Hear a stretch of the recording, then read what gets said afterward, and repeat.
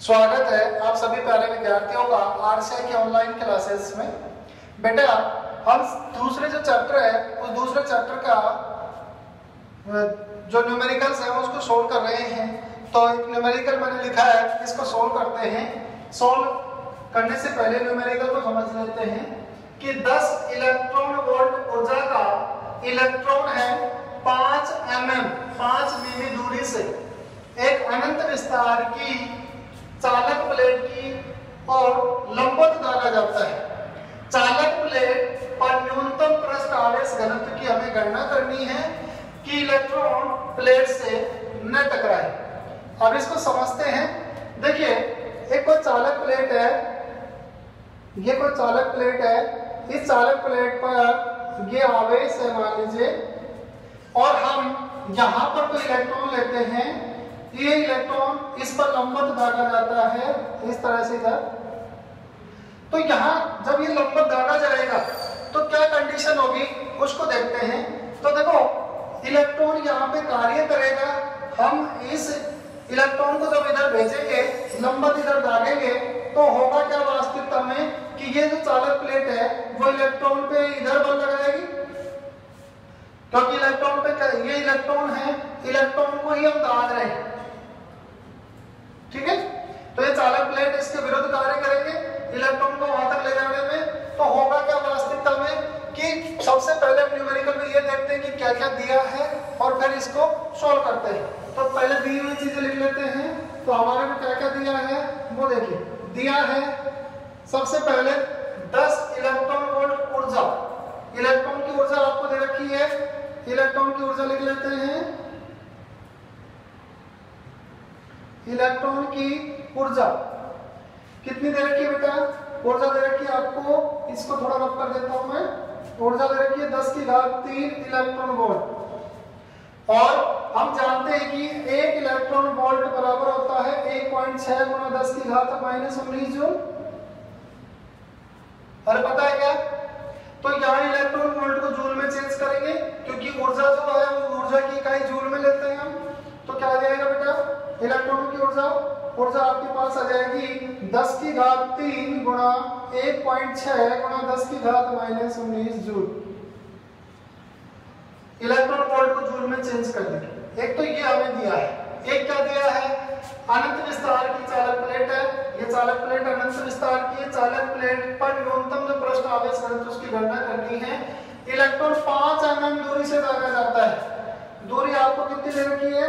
Are बराबर रखी पाँच एम एम और पाँच एम एम को हम चेंज करेंगे मीटर में। तो क्या लिख सकते हैं? पाँच गुणा दस की घात माइनस तीन मीटर भाई मिलीमीटर है और मिलीमीटर को मीटर में चेंज करेंगे तो? मिलीमीटर को मीटर में चेंज करेंगे तो आ जाएगा आपके पास। ये। देखिए, ये जो हमारे पास इससे कार्य आएगा, वो कार्य क्या आएगा? उसको देख लेते तो कार्य वैसे, अगर बल के विरुद्ध कार्य करते हैं तो विद्युत कार्य क्या आएगा? विद्युत कार्य आएगा बल गुणा विस्थापन। बल गुणा विस्थापन। बल कितना है? बल आपके पास है। बल का जो विद्युत बल है एफ़ का मान वो होता है क्यू ई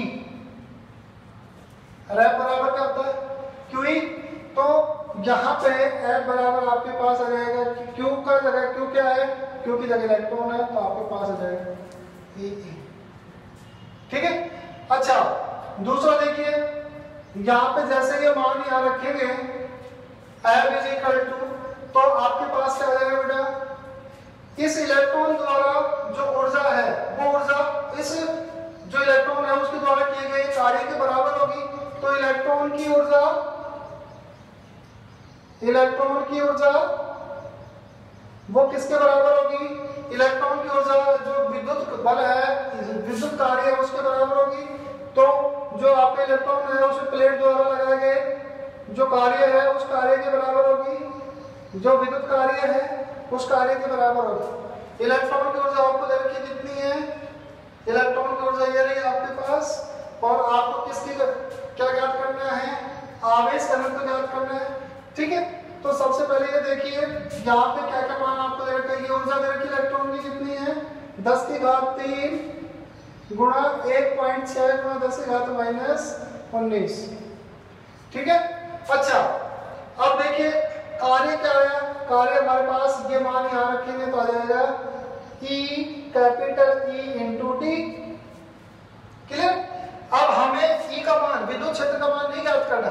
हमें किसका ज्ञात करना है? हमें ज्ञात करना है आवेश घनत्व। आवेश घनत्व किससे रख सकते हैं? सिग्मा से। और प्लेट के लिए सिग्मा का मान ज्ञात करें तो? चालक प्लेट के लिए ई का मान क्या होता है बेटा?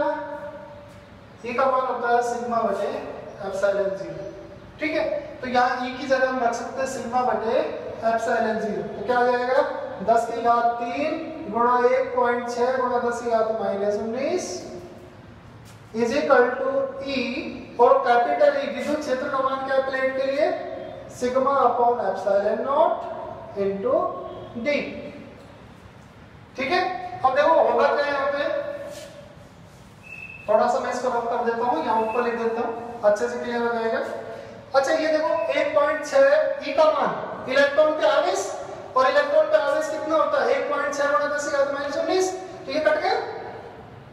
अरे बोलो कट गया ये ई से ये कट गया ना? तो क्या बच गया आपके पास?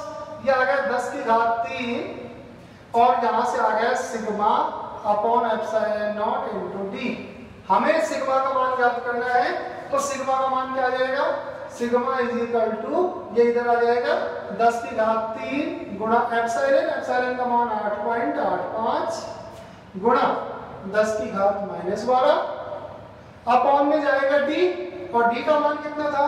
डी था 5 एम और पाँच एम एम का मतलब पाँच गुणा 10 की घात माइनस तीन। सोल्व कर लेंगे इसको? पहले तो 10 की घात को सोल्व करो। तो 10 की घातों को सॉल्व करेंगे 10 की घात माइनस 3 ऊपर जाएगा प्लस का हो जाएगा? तो आपके पास आ जाएगा सिग्मा इज़ इक्वल टू देखो, ये तीन ऊपर जाएगा प्लस का, तीन और तीन प्लस का ये छह, बारह में से छह गए तो तो आपके पास आ जाएगा आठ पॉइंट आठ पाँच गुणा, बारह में से छह गए तो दस की घात माइनस छह, और अपॉन फाइव ठीक है? हाँ जी, और इसका सिग्मा का मात्रा क्या है? सिग्मा आपको पता है? सिग्मा होता क्यों भाई है यानी कुलाम पर मीटर कुलाम पर मीटर। पाँच से डिवाइड कर दो तो क्या आ जाएगा पाँच से डिवाइड करेंगे पाँच एकम पाँच, बच गया तीन, पाँच सात पैंतीस दशमलव पैंतीस और तीन अड़तीस फिर तीन तो पाँच सौ पैंतीस तो ये आ गया लगभग एक पॉइंट सात सात गुणा दस की घात माइनस छह कुलाम पर मीटर स्क्वायर। ये आ गया उस प्लेट पर आवेश घनत्व। जब उस प्लेट पर इतना आवेश रहेगा तो इलेक्ट्रॉन क्या है? वो उस चालक से, जो चालक प्लेट है उससे नहीं टकराएगा।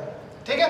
तो ऐसे न्यूमेरिकल्स को हल इस तरह से करते हैं। एक बार इसको देखना, कोई भी डाउट आए तो आप पूछ लेना। ठीक है? तो आज के लिए इतना ही। कल हम नेक्स्ट चैप्टर स्टार्ट करेंगे। तीसरा चैप्टर उसको एक बार आप देख लीजिएगा।